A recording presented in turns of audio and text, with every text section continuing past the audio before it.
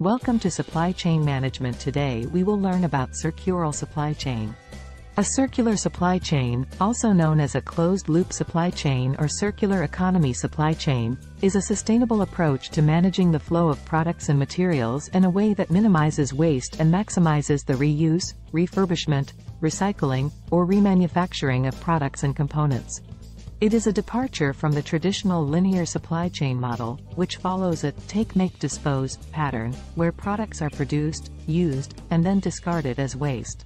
Key principles and characteristics of a circular supply chain include resource efficiency. Circular supply chains aim to use resources more efficiently by reducing the consumption of raw materials, energy, and water. This is achieved through practices like product design for longevity and disassembly, efficient production processes, and the recovery of materials from discarded products. Product design. Products are designed with durability, modularity, and ease of disassembly in mind. This allows for the repair, upgrading, or replacement of individual components rather than entire products, extending their useful life. Reverse logistics.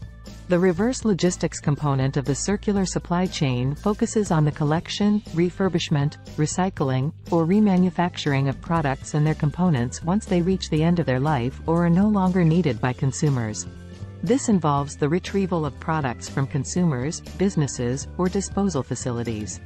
Reuse and refurbishment. Products that are still functional but no longer meet the original consumer's needs can be refurbished and resold. This extends the life of the product and reduces waste. Recycling. Materials from products that cannot be reused or refurbished are recycled into new materials or products. This reduces the demand for virgin resources and minimizes waste going to landfills. Remanufacturing.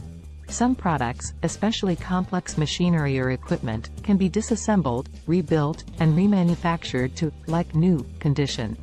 This process not only extends the product's life but often provides cost savings compared to manufacturing entirely new products. Collaboration. Circular supply chains often involve collaboration among various stakeholders, including manufacturers, suppliers, distributors, retailers, and consumers, to facilitate the return and reuse of products and materials. Data and technology.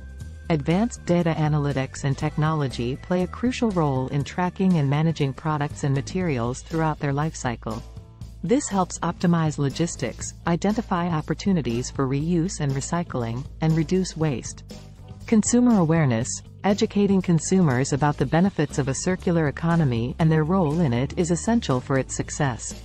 Consumers can contribute by choosing durable products, recycling, and participating in take-back programs.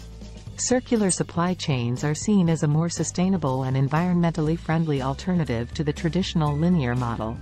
They aim to reduce resource depletion, minimize waste, and lower greenhouse gas emissions, making them an important approach for addressing environmental challenges and promoting sustainability in the business world. Additionally, circular supply chains can lead to cost savings and increased competitiveness for companies that adopt them.